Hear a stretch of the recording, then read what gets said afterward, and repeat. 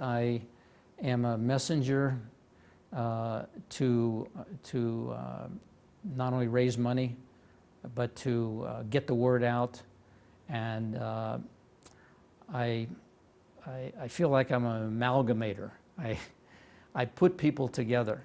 I get people excited about uh, this project and uh, a few other projects, although I must say, of all the projects I've ever been involved in, this is clearly the most important thing that I've ever accomplished.